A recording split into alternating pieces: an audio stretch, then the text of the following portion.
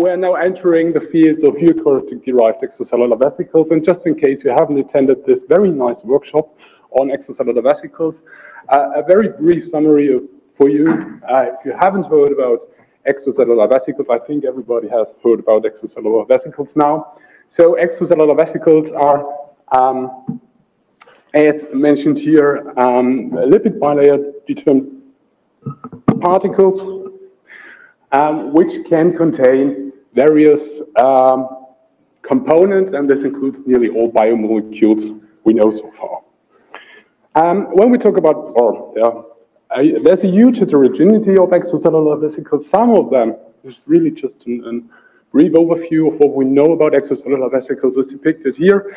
And uh, when people talk about extracellular vesicles, they mainly focus on these two types, namely the microvesicles and the so-called exosomes are, are um, named based after their origin and the biogenesis route. But we don't go into detail into that. So why extracellular vesicles are so important or so interesting?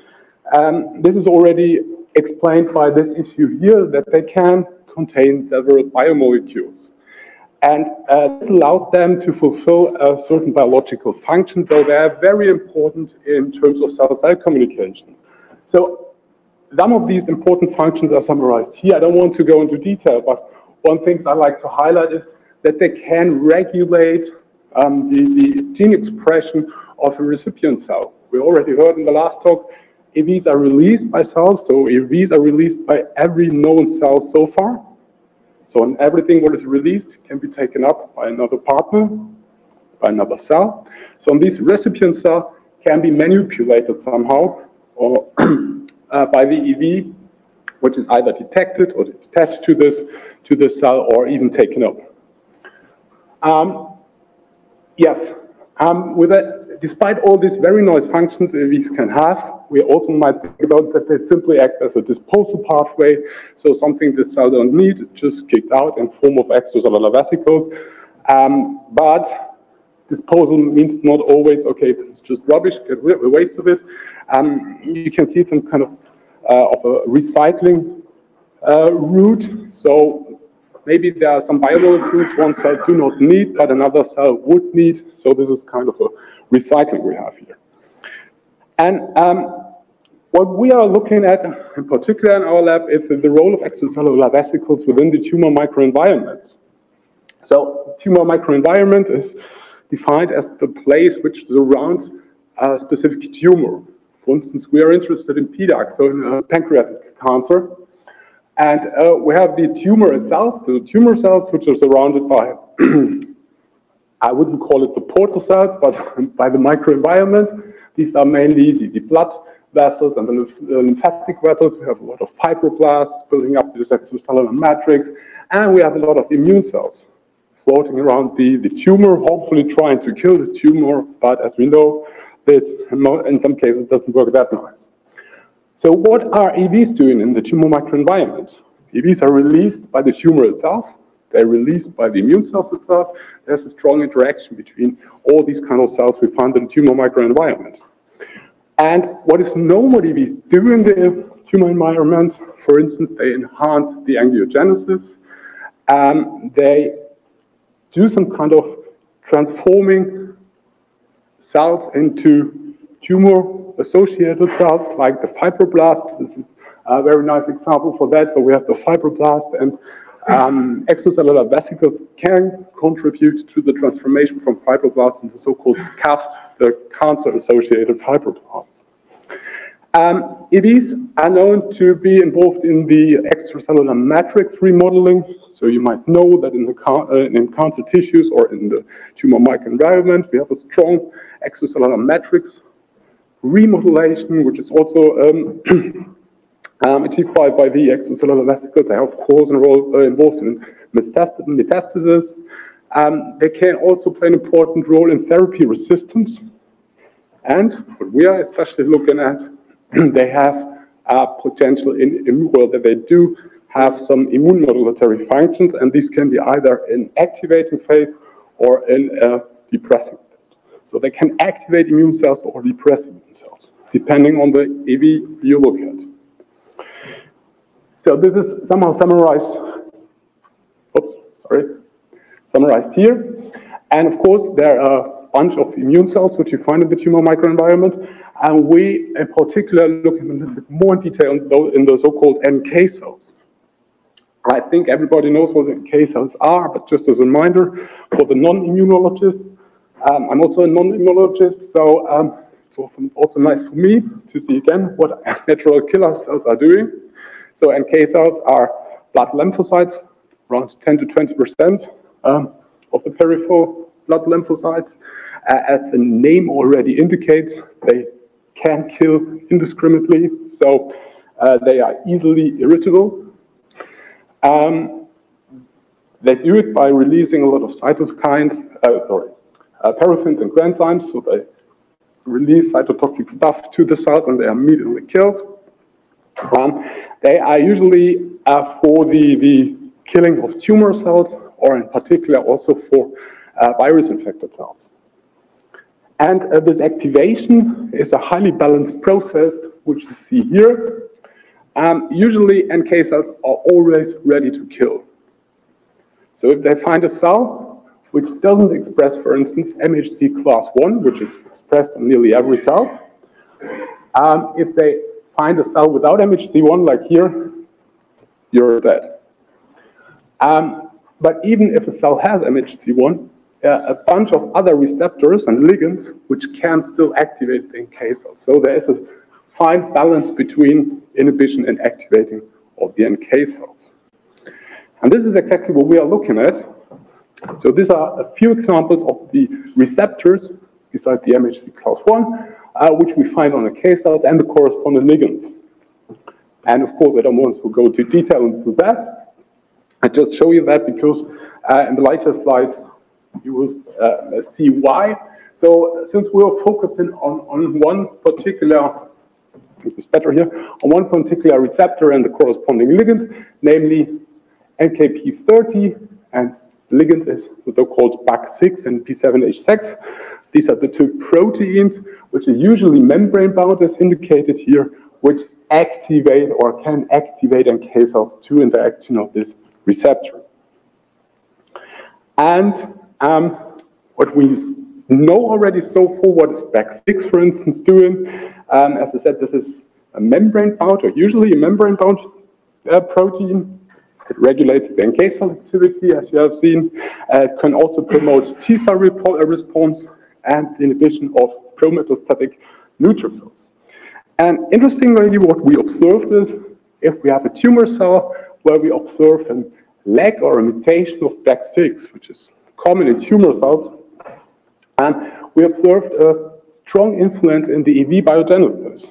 So first, the loading of the specific cargo of the extracellular vesicles is influenced, and we know, or what we also could show is that BAC6 itself is associated with extracellular vesicles.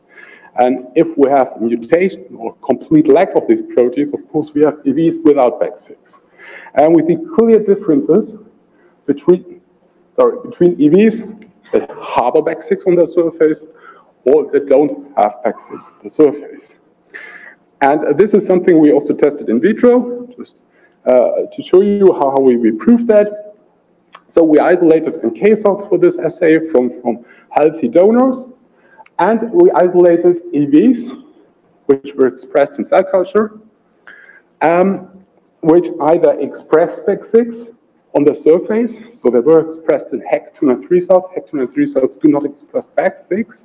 Therefore, we overexpressed BAC6 and uh, generating thereby uh, EVs that contain BAC6. We also used the other ligand, P7H6, isolated the, these EVs, as a control, we used the protein itself, incubated either the EVs or the protein with the NK cells, used those NK cells and the first NK cell panel, what we call NK cell panel, we simply check for the activation of different markers on the NK cells. And further on, we use these NK cells and put them on uh, reporter cells. These are the K567. This is a leukemia cell line which lacks the MHC class 1. So these are really nice targets for NK cells, and this is what we call then a killing assay. And um, yeah, just to show you that we were able first to overexpress BAC6, as you see in the, the Western blot, and also P7H6.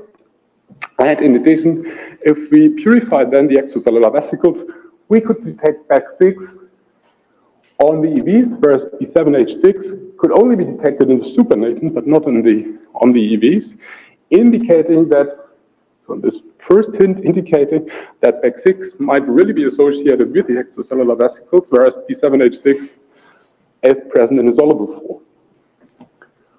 Yes.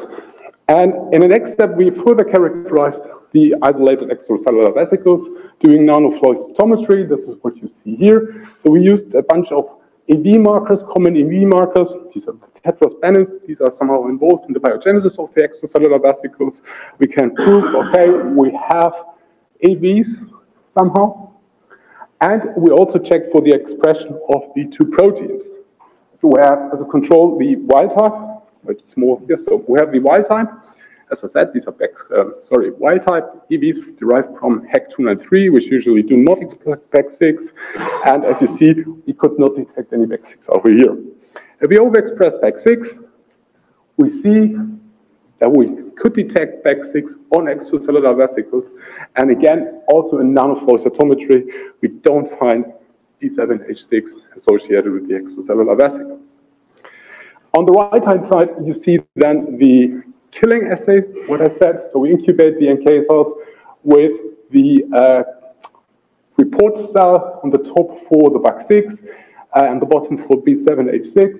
Uh, and to summarize this up, if we have EVs that con can contain or that contain BAC6, the uh, induced cell death is increased, indicating that X6 on extracellular vesicles boosts the activity of NK cells.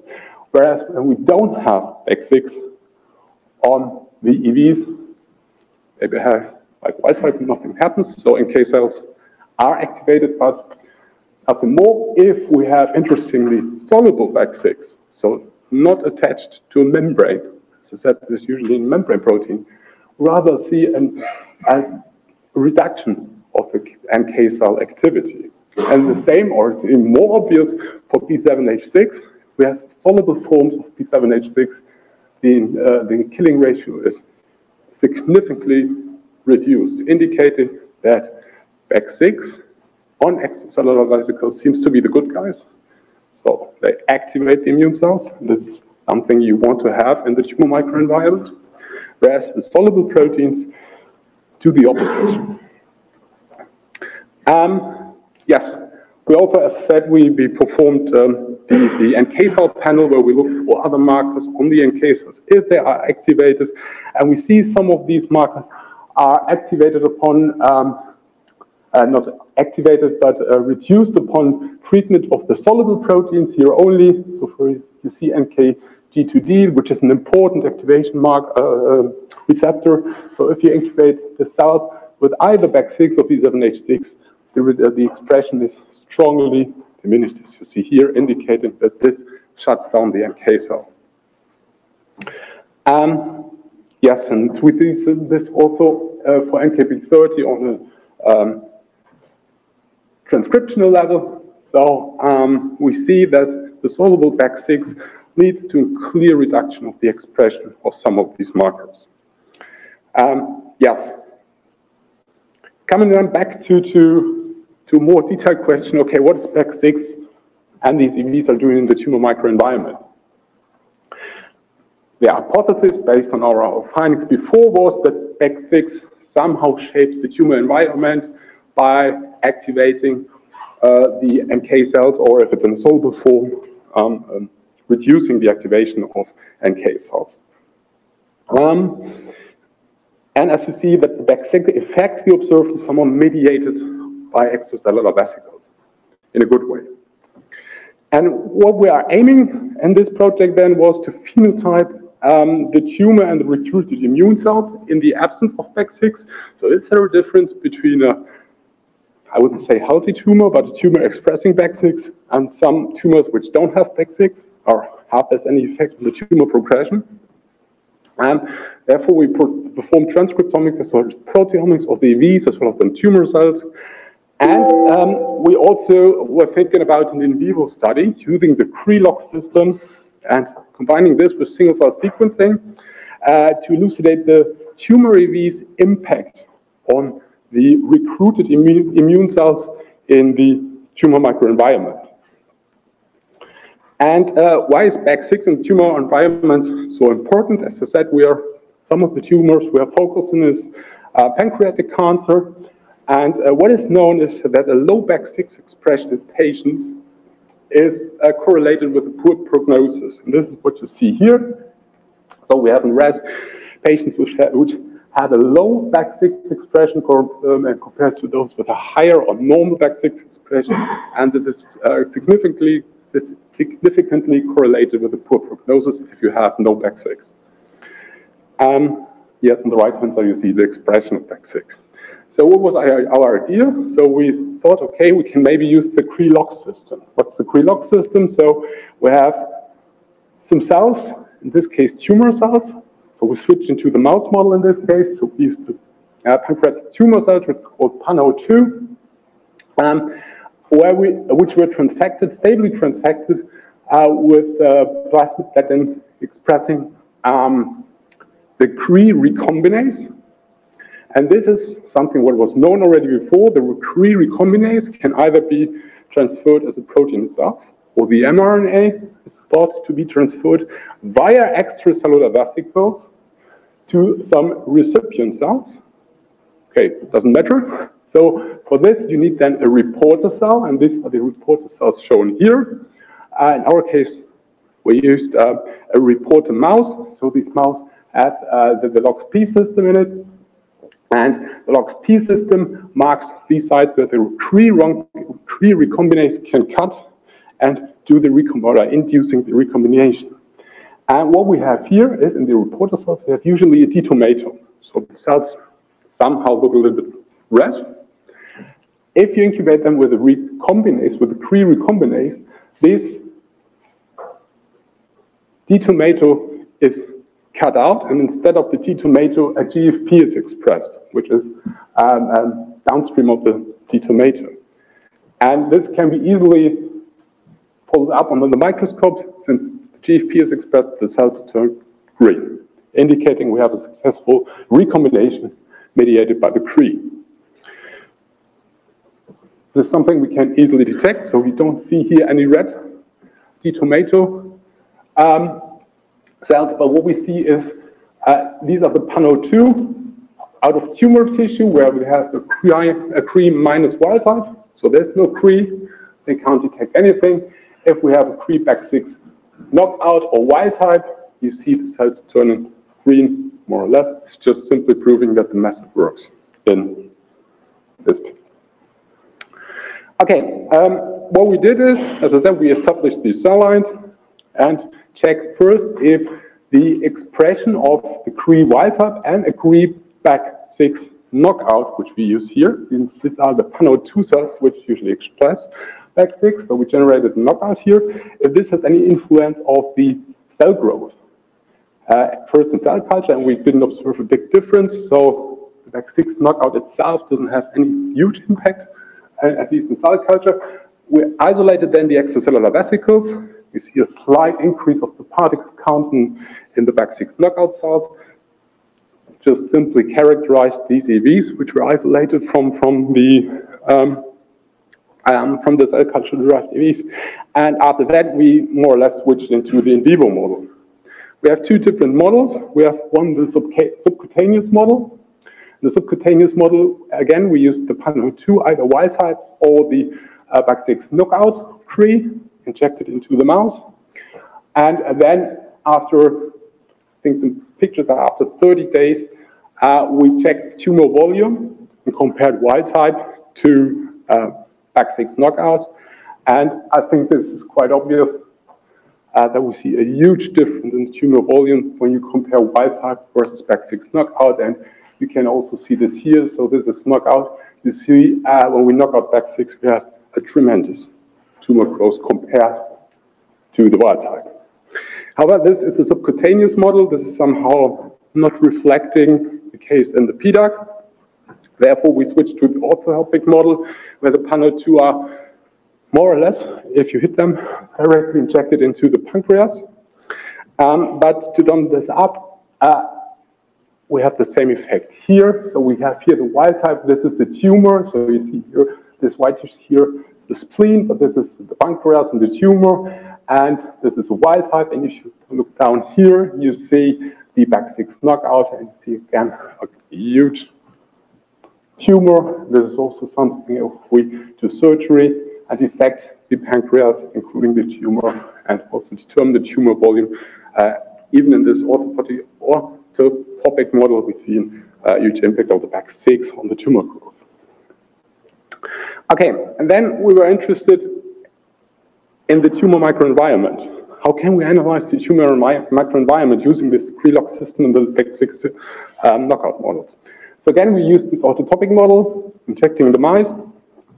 After a few weeks, depending on how the tumor grows, we um, take out the pancreatic tumor and do dissection of the tumor and the digestion. Uh, do cell suspension, perform then a single cell pre-analysis with the Rhapsody, and uh, uh, in our case, we did a library preparation and sequencing, and then uh, single cell sequencing of the cells.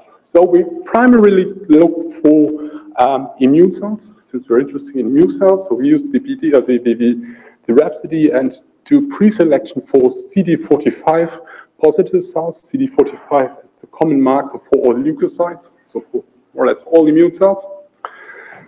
And uh, the sequencing and you see something like this. We observed, I think, in the end, 12 or 13 clusters. Um, in single cell sequencing. Um, after that, we have somehow to, to align these clusters to the individual uh, immune cells. And this is something we did. I will show this in a minute, in a minute um, that this is more or less clear what kind of uh, immune cells we have. We have clearly separated here the T cells. We could nicely distinguish between CD8 plus and CD4 plus T cells. We have the macrophages and here our NK cells, and again the fibroblasts which also can be seen as some kind of uh, immune cell within the tumor microenvironment, I would say. Okay, after this, we dissected and compared wild type versus knockout, and this is what you see here. On top, we have wild type panel 2 and here the BAC6 um, knockout, and we see already here a clear difference. We have in general more immune cells, and the BAC6 is similarly to the fact that the tumor is much larger, much more immune cells are recruited to this place. But we also see some differences in the individual clusters. First of all, we see strong accumulation of fibroblasts. Uh, we don't, I don't go into details for fibroblasts, uh, but what we see also here is macrophages as well as the mast cells down here. And um, this was simple single-cell sequencing without the Krelok system, and now we made use of the Krelok system, then the Krelok system can be somehow sorted out, or these cells with the Krelok system can be sorted out, since they are GFP positive. So we can check for the GFP positive cells, and look for the expression or the, the, the abundance of the GFP positive cells. And again, this is what you see, there are not that much GFP positive cells in the panel 2, indicating that this recombination effect isn't that big. So indicating somehow that either the EVs are inefficiently transfer the BAC6 protein mRNA to the recipient cell, all the recombination took no place in these cells. But what we see is there are two populations where this recombination takes place. The one was somehow assumed for us because these are the macrophages or the monocytes, and these are the cells supposed to take up everything what's coming around. So the monocytes are known to, to take up the most of the bees which are floating around or circulating. But what was a very interesting for us is um, that we found mast cells. Because mast cells weren't, at least, I don't know that mast cells were reported to be involved in the tumor microenvironment or to play an important role in the tumor micro, microenvironment, um, mast cells are known to release a lot of histamine, so, so they're important for allergic reactions and something, uh, but not for in, within the tumor mi microenvironment. Now, this is something we are now following up, why mast cells are taken up so much EVs. As I said, we did this for the tumor itself, for the tumor microenvironment.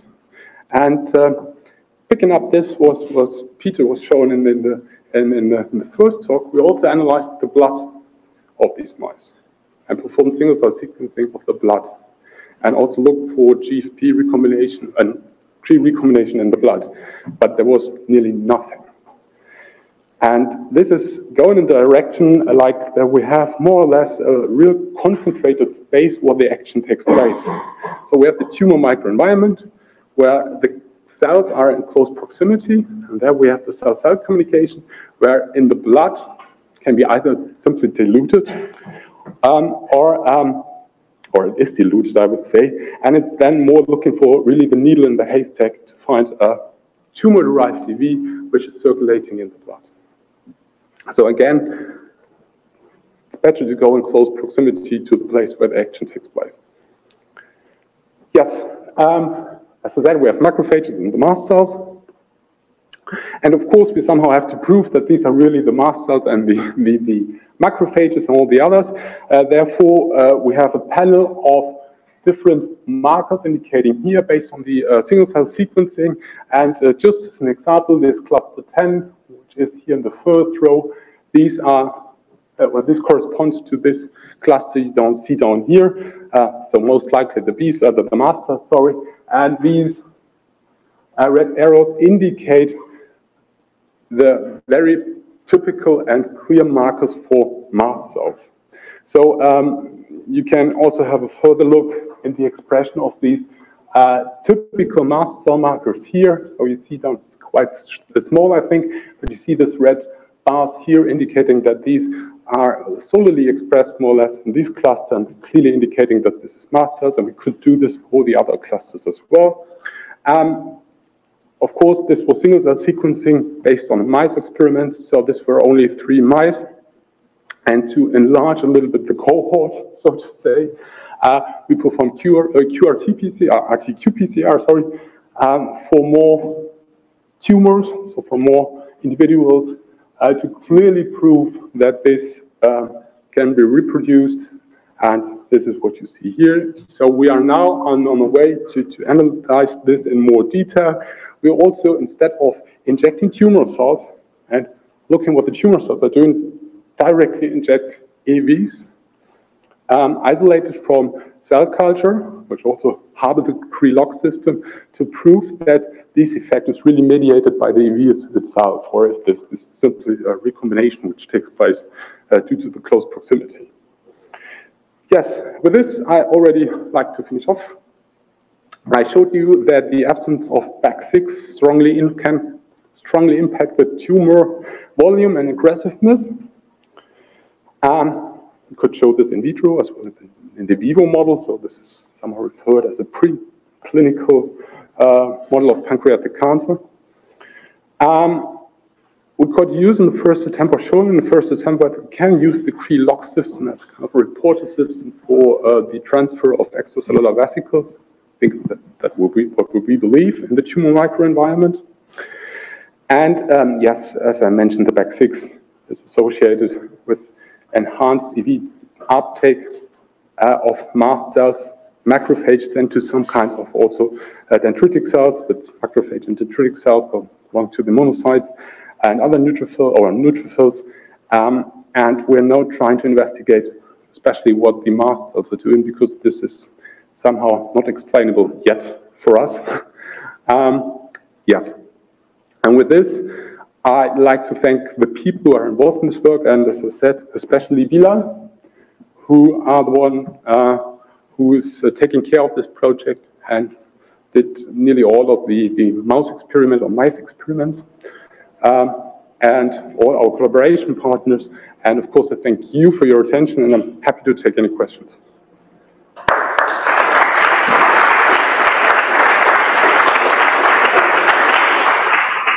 Thank you, Chris. Questions?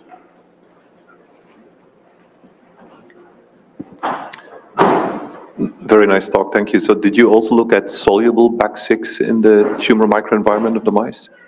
Um, In the tumor microenvironment, I have to check for the, it's quite difficult because um, we observed or we detected in the mass spectrometry, since we isolated the EVs out of the, the um, tumor microenvironment, on the EVs we could detect uh, um, um, BAG6, and also in the, the call it supernatant. Uh, might be soluble BAG6, but of course I cannot really say if this is um, um, somehow ripped off of the, from the EVs during the procedure and so on. But, yes. So since there are no more questions and since we are running quite late, we close down. Thank you very much, Chris. Homage to Florence. Thank you.